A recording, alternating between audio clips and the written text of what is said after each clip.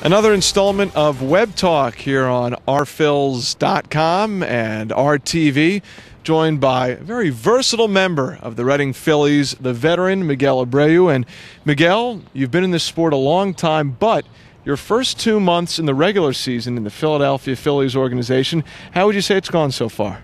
Well, um, it's been good right now. How you see the numbers, and you know, I'm happy to be here to enjoy this organization.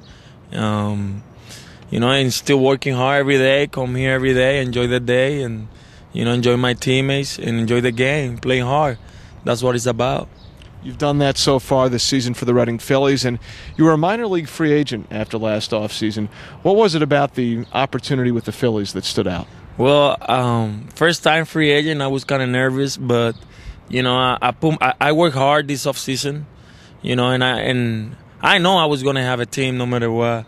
Uh, I don't care if I had to try out or walk walk up, but I know I was gonna be in some organization, you know, because I myself I think I I can play major league. You know, that's what I'm here, and you know I, I'm I always positive. You had a really nice track record within the Baltimore Orioles organization, splitting the last couple years between uh, Double A Bowie in the Eastern League and Triple A Norfolk.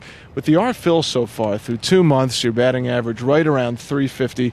What would you say has allowed you to put up those type of numbers despite being out there on not so much of an everyday basis?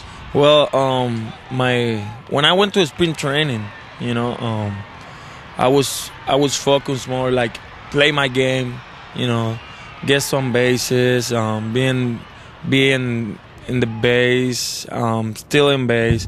So I, I, I put myself like I don't don't try to do too much. You know, you just try to hit the ball. You know, where it's, if it's outside, inside. You know, and that's that's what I I come here in the season start. You know, I'm I'm ready. My mind is ready. You know, like I went every. I know I wasn't playing every day. Right now, I'm playing every day, and I wasn't playing every day, so I had to work hard more in the cage, and you know, like my last seven years, you know, I didn't work like that. Like I don't, I was playing every day um, in those years. And this year, you know, I, I became a backup with uh, utility. So my mind was setting it up like I had to come here every day, hitting, every, hit every day, hit early after after hit too. Um, and when I play, you know, my mind is ready you know because physical i'm ready i know physical i'm ready but when i'm when i'm not playing I'm, my mind is off and that's that was hard to do when i'm playing you know i just try to turn on that thing in your mind and of, of course you know you just think about what you've been doing in the cage or in, we work with frank you know and that's what is is is having a good season right now you know i, I don't i don't try to waste any at bat you know and every day I see myself in the line, you know, just be positive and ready to play. It seems like that approach has really helped the Reading Phillies collectively as a team in a great way. I mean, that first month of the year when you were out there, big base hits. He had 500 through the first month of the season here in 2012. Out of your eight years in the sport, where would you rank that month, batting 500 for April? Well, uh, I think that's this is one of my best thoughts right now, you know, and and like I said, uh, you know, I, I'm enjoying it, and you just have to keep doing the same thing I've been doing it, and you know, and think about it's about good about teammates. You know, we talk a lot. We I've been talking a lot with the young guys, and and we we we're good players. They got a good players, and when you got a good communication, you know, everybody is like you know you go to the home play you you know you know what's what's going on because my teammates um the guys been playing just they tell me hey I know this guy this guy throw fastball inside this guy go away so when I'm when I'm going when I'm seven or eight hitter I'm I'm ready right all the way by when I go to home plate. I'm not loose. I know what the guy's throwing and everything because teammates. That's what it's about too. One of the things that Reading Phillies manager Dusty Wathan talks about a lot when speaking about Miguel is the leadership role that you've assumed inside the clubhouse, in particular with the Latin American players, like you were just talking about.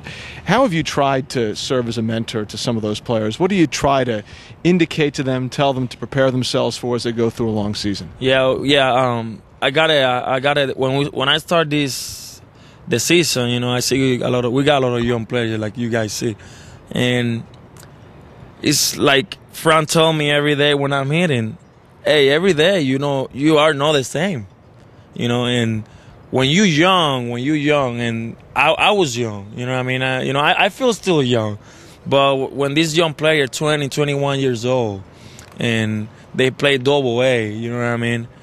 It, they just come here and see themselves in the lineup. That's what I'm talking about. They see themselves and oh, I'm gonna, oh, I'm playing today, but what is what what what did you got for the game today? What is your plan? The guy is righty, the guy is lefty. What he throw?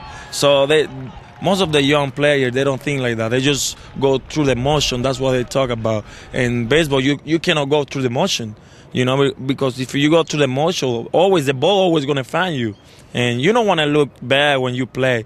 So I, I was talking to a lot of young players like Castro, um, on on um, Cesar, on Valles. You know what I mean? Like you have to have it like every day you have to have like a routine. What what what are you gonna do? You come here, dress up. What do you do after dress up? Get a bag, you know.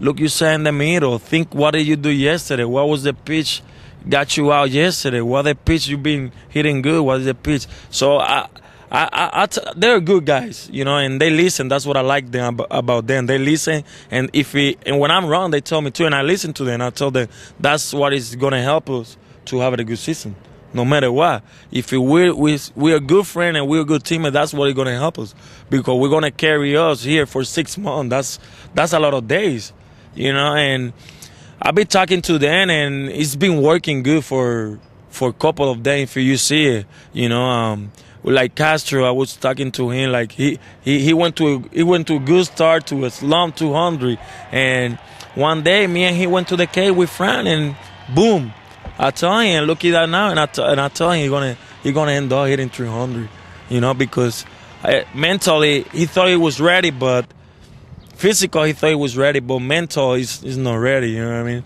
You just you have to come every day and having a plan. Is that's what I that's what we're talking about with Dan. Every day I just sit down with Dan and you know we just enjoy and talking about a little bit about baseball. It sounds like you think about the sport of baseball a lot and have a really grounded perspective on it. How did you discover this sport growing up in Puerto Rico? Well, um, my first time when I was playing, um, my first time I played baseball was when I was seven years old. Uh, it's a lot of. It was about the, the Blue Cross people was looking for. They was they was gonna start doing a league, and I was playing basketball crossing my street by my house, and this guy was looking for a young kid to play, and my dad was there, and he said if he, he wanted, if he, we want to enjoy, and yeah, he said yeah, of course, and he put my name in the list, and me and my brother, and that was my first time play baseball. I didn't know until that, and right right when I was 15, 16, uh, I decided, you know, um, baseball is baseball. It give you a lot of a lot of open windows, like open doors, like it's not becoming major league player. You just they got it. You can go to college and stuff, and you can see a lot of places. And when I was 16, 17, I decided I want to play baseball. And really, what happened was I, I didn't get drafted when I was 17. So uh, I got a good friend of mine who was giving a lot of scholarship to to college, and I find my place in Oklahoma. I didn't know Oklahoma until I was I was in the airport. I didn't know where was Oklahoma. I didn't know where where I was. So I went to the map and looked where was Oklahoma, and I know I decided I was far home.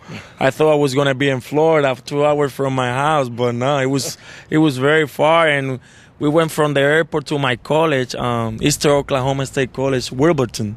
That's a small, very country, very you know what I mean. And we was driving two hours no lights in the road nor nothing. I was like, oh my God, where we going? So I spent my two years in my junior college, and later on I got transferred to Central University. That's where I was um, one year there, and I got a good year, and I got drafted by the Orioles. You know, uh, I, I got a tryout by Joe Jordan. He was a scout there, I remember, and we, I, I drove three hours from Oklahoma to Texas on Sunday. Um, it was so hot. It was so hot, but you know, um, later on, week week later, I, I, I my dream became true. You know, be a baseball player and be in the draft. That was my dream. I want to see myself in the draft. And look at me right now. Enjoy this. Enjoy my moment, and I'm proud to be here. Well, that is an amazing story. And lastly, I'll ask you. I mean, you've been all over the place, not just Puerto Rico, not just in the back country of Oklahoma, but playing in the Hawaiian Winter Leagues all around. How has that shaped you as a person? What has this sport given you? Yeah, that's that's what I I, I was I told you. Um, baseball is open a lot of door for everybody. People, you know, you, people think oh baseball is about money, but no.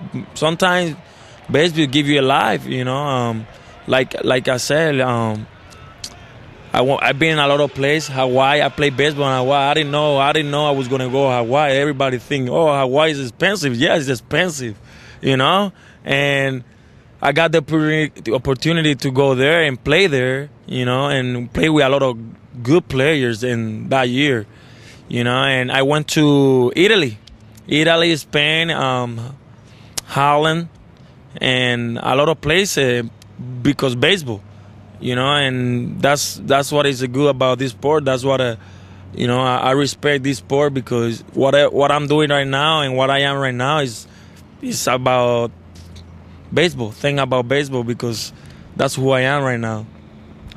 Miguel Abreu sounds like making the most of all the opportunities that the sport has provided and also with the Reading Phillies so far in 2012. Miguel, thanks so much for the time. Continued oh, success. Welcome. You're welcome. Thank you for having me here. And thank you for checking out the latest installment of Web Talk here on RTV on ReadingPhillies.com. Stay tuned throughout the season for more on Web Talk.